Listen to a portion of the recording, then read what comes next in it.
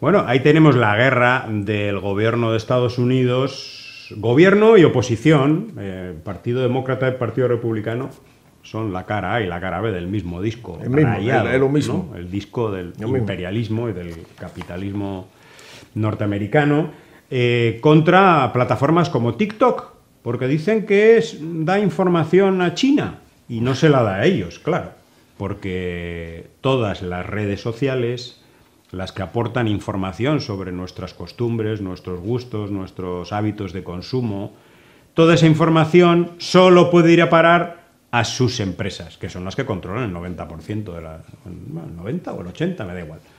De todas las redes sociales, Facebook, por supuesto toda la información a partir de Google, eh, Twitter, ahora X, etcétera. O sea, empresas de Estados Unidos.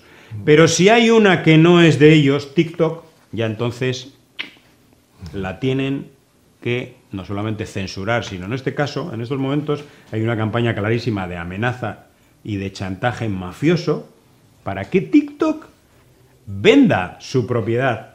¿eh? El senador Pete Ricketts, republicano, nos dice noticias de otro lado, lo admite sin tapujos. Ahora ya están buscando eh, nuevos argumentos para irle a TikTok.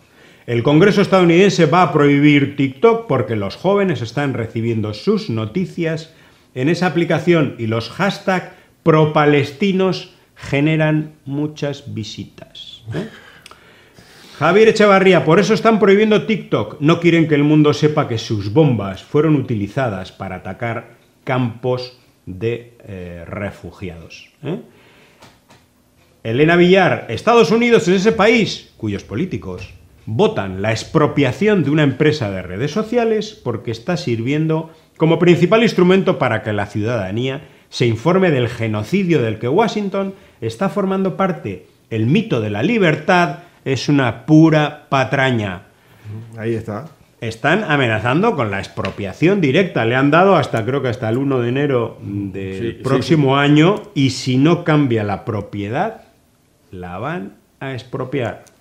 Los del libre mercado. Y además una empresa ubicada, se supone, en un país donde gobierna el Partido Comunista bueno, eh, han cambiado un poco las cosas. Otro ejemplo más del cinismo de, que, vierte esta, esta, esta gente, ¿no? de, todo este circo eh, de poder mediático, de poder de, que, impulsa, que viene desde la Casa Blanca, el Departamento de Estado y también las agencias de inteligencia de los Estados Unidos, eh, que trata de, mantener, o sea, mantener todo lo que, lo que, lo que se está haciendo es eh, mantener un dominio hegemónico y eh, a, lo que dé lugar, por eso se protege y se ampara estas barbaridades, estas masacres, este genocidio.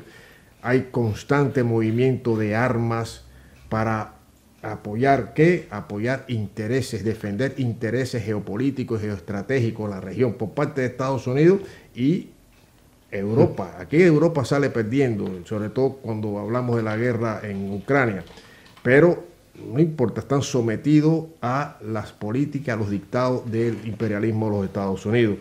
Entonces, eh, todas estas cosas eh, eh, tiene, no sé, algún, en algún momento los pueblos eh, tomarán verdadera conciencia de lo que se está jugando incluso eh, a nivel de, la humanidad y condenen, se levanten con toda la fuerza y toda la energía para condenar todos estos despropósitos, todos estos desmanes y todos estos crímenes eh, que, que, impunen, porque a todas estas dice, bueno, se juzgará algún día a Netanyahu. A Netanyahu.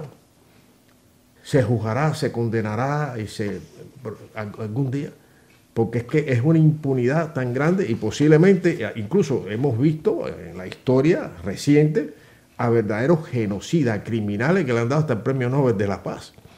Es que es una cosa, ese es este mundo, por eso hay que luchar contra esto, estas barbaridades, contra los cínicos, los hipócritas, contra los doble moral que están anidados en Estados Unidos y en la Unión Europea.